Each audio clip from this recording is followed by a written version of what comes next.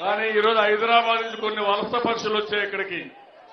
వచ్చే జ్ఞాపకంగా ఈ ఊర్లో కూడా ఈ జిల్లాలో ఒక కాలేజీ పెట్టుకున్న వ్యక్తి ఒక వలస పక్షి ఒకటి వచ్చింది. లోటస్ పాండ్లో ఉండేవాళ్ళు వచ్చారు. ఇంకా అక్కడక్కడ చిల్లర మల్లర సినిమాలు ఎక్కడ లేకుండా అందరూ వస్తున్నారు ఇప్పుడు ఇక్కడికి. హైదరాబాద్ నుంచి వలస పక్షులు వస్తే మీరు మాకు చెప్తారా? నీతులు. కేసీఆర్ కూడికం చేయాలంటే చేసుకోండి పోయి. మాకేం బాధ లేదు. మీరు బతకాలంటే బతుక్కోండి. మాకు బాధ లేదు. మా రాష్ట్రానికి వచ్చి ఈ జన్మభూమికి అన్యాయం చేస్తే కబద్దార్ జాగ్రత్తగా ఉండండి. మీ ఆటలు సాగనీయను. ఆ రోజు నేను కట్టిన హైదరాబాదే. మీరు ఆనందంగా ఉన్నారు. ఉండండి నాకేం బాధ లేదు. నేను ఆ రోజు కట్టింది రాష్ట్రం కోసరం తెలుగు జాతి కోసరం కట్టాను.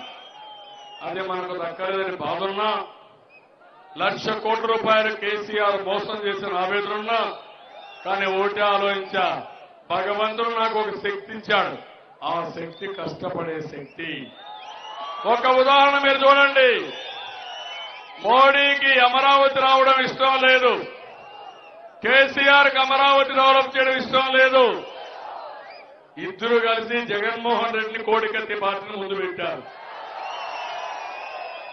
అన్నింటికీ అడ్డం పడ్డాడు. నేను ఒక పిలిపించా. రైతులకు పిలిపించా. ఆ పిలుపు ముప్పై ఐదు వేల ఎకరాల భూమి ల్యాండ్ పూలింగ్లో ఇచ్చారు తమ్ముళ్ళు. ఇది ఒక చరిత్ర.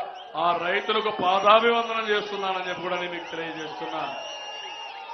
దాని విలువ యాభై వేల కోట్లు. అక్కడ జరిగే పనులు యాభై వేల కోట్లు.